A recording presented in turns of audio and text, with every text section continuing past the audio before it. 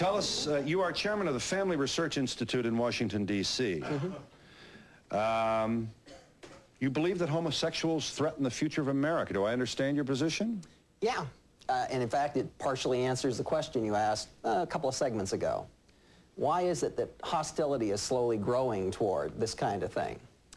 I think an awful lot of people out there now can see the cliff. We've been going the wrong direction for a number of years, and hey, there is a cliff over there, and we're about to hit it. We're about to hit the wall, the cliff, the end of our civilization. It's still ahead. This isn't going to kill it. But notice what's happening here. Notice that even as in the movie, which I thought was fairly accurate and perceptive, here's this fellow who decides to come out on national TV to tell his parents, listen, you wasted that part of your life you spent on me. Here I am.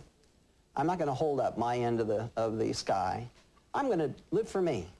And I'm going to do something really wacko and help to encourage all the other people out there to, that are disturbed, who more often than not are men rather than women.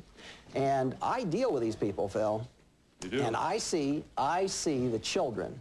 Your program, unfortunately, is going to stimulate no, probably a couple of thousand men to go a little closer to the edge. Some of them will start to drag, and then others will have the operation. And behind that, wait, one more point, behind that, there are going to be tens of thousands of children that are going to have their lives really hurt.